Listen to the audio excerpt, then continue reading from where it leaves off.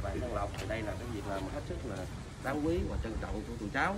Dạ. Trên cái trên tinh thần đó thì chỗ ủy ban dân kịp thời ghi nhận tấm lòng vàng và trao cho thím đồng vàng đồng thời gửi cho thím gia đình món quà. Cái này đây nhà lá vườn để cho thím cùng gia đình ăn vui cho bằng tết. Và hướng tới thì chắc cũng mong rằng chủ gia đình tiếp tục ủng hộ địa phương Đó. tại vì chắc là ở đây giao lại cho chỗ mấy anh em đây. À, cháu dừng phong phải về với còn cuộc họp với nữa. Dạ để cho anh em về trụ trì phát ở đây. Dạ kết hợp cùng gia đình.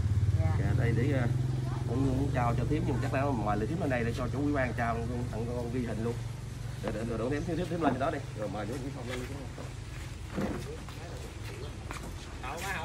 đang đang đang lấy lấy máy nè lên lên lên rồi ta rồi chụp luôn ờ, phát quà cho bà con hộ nghèo khó khăn trên địa bàn của xã. Nha, với cái tấm lòng chỗ ờ, tất cả của ờ, gia đình cùng ờ, chỗ ờ, đại dân,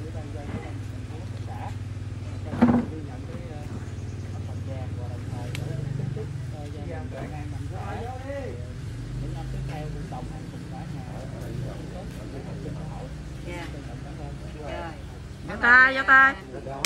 Rồi, cảm ơn mấy à, chú ở dưới xã nhiều lắm nghe. Dạ.